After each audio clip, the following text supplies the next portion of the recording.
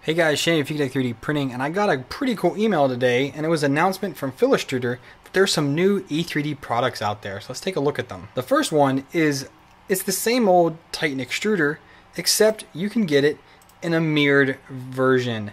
Now this is absolutely excellent because if you're trying to do a side-by-side dual extruder printer build and you want to use Titan extruders, well right now you have to space them out in order to make space for the wheel to be beside each other. But you don't have to do that anymore because with the mirrored version, you can put them side by side and not lose as much space. You're still going to lose a lot of space because look here, from where the hot end comes out, the heat break, and to the end of where the housing is for the Titan, is quite a bit of space. It's even more when you have to put them side by side this way because you, all of this distance is gone over here. But when you're having this one here and the other one, it's just going to be right around here. And that's really nice because you get them nice and close together. It was you still be able to get your fingers in there to turn the wheel and whatnot. So I think this is a great move by E3D to do this. And you can go ahead here to the website check out all the nitty gritty details. I'm showing you off of Filastruder because this is where I buy from here in the US. Uh, they have a lot of useful information in here. It tells you why the Titan is so awesome, things you get, the resolution, speed, whatever you want. Go ahead in here and check that out. The other really cool product that E3D put out is something called the E3D Titan Aero. So it's an extruder and hot end combination, which is kind of mind blowing if you ask me, because this makes this huge assembly. So let's go back here to the Titan assembly. So see how big this is here? It's pretty huge once you have all that put together. But if you go here to the Aero, look at that. The heat break is actually built in and slapped to the front of the extruder housing. You gain 25 millimeters of space by using this setup. So if you really want to get some Z height back, so if you had say a general MK8, MK9 on your 3D printer, you've upgraded to the E3D setup and you want to gain back some of that Z space, this could be the way you want to go. So if you here look at the parts here, you can see right here is where your nozzle is going to come up and in, where your throat is what I call it.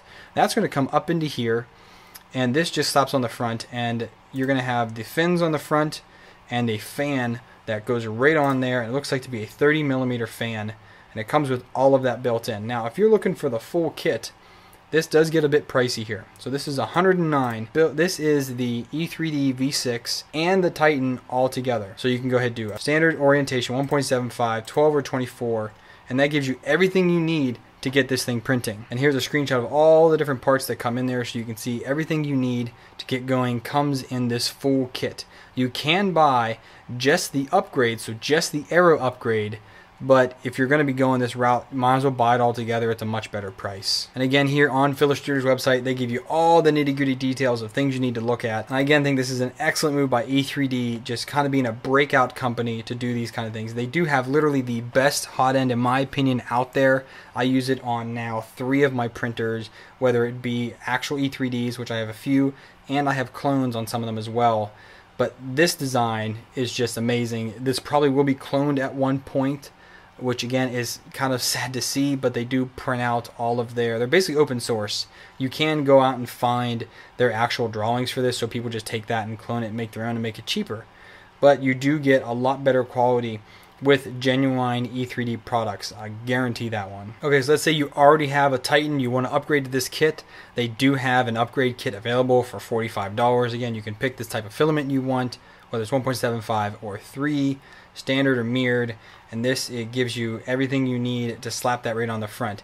Now with this upgrade kit, this is only for the front half of the extruder. It doesn't give you anything else in there. So from what I can tell, I honestly don't think the upgrade kit is worth it at all because they're only giving you these few things that you need to upgrade it which is like nothing. If you're getting this, you're getting the actual housing, you're getting the hot end assembly, which you're not getting with the upgrade kit. So I think if you're going to go this route, I would just sell off the E3D Titan you already have and purchase the full kit because it's much, much more worth the money. Because if you do do the upgrade, you're going to have a, a regular V6 heatsink or heat break hitting around that you're not going to need because you don't have a nozzle for it anything like that. You're not going to have a heater block or anything for it, and you're going to have these unused parts that are kind of worthless. So I would just go the full route. If it was me, I would probably just go this route. So again, I just want to kind of bring this out to everyone's attention. I think it's really cool that they did this, and I wanted to share it with you. If you're not on Filastruder or E3D's mailing list, you should probably do so. You get a lot of good information when things like this come out.